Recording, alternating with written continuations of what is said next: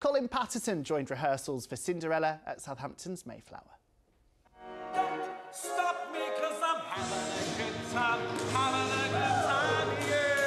Rehearsals for Cinderella at Southampton's Mayflower Theatre, with a familiar face readying himself for his role as the wicked stepmother. Craig, tell us where we are. Well, we are in where all the dresses are, darling, where all these wonderful frocks. Look at them. So if you put a bit of COVID weight on, darling, you'll need to have them extended, like me.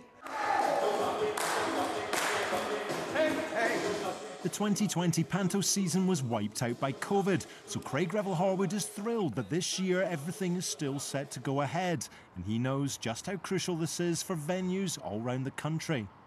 Panto is so important to theatre as a whole because it provides actually the money that is necessary to get the theatre through the rest of the year, for the entire year. It will pay for that whole season. I'm talking about all the people backstage, the lighting, the ushers, everything, every part of it, the box office staff. I mean, it's endless. Are you ready, boys and girls?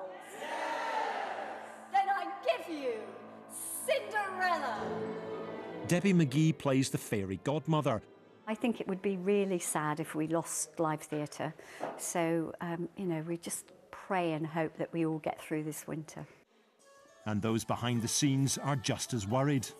Last year was very, very painful. You know, pantomimes were closed down and lots of people lost jobs. People who had trained to be in the theatre business went and worked in shops or on building sites, came back into the theatre and lost their jobs at Christmas. So we can't have that this year.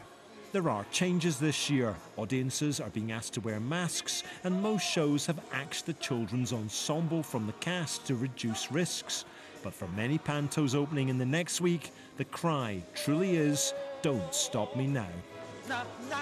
Colin Patterson, BBC News.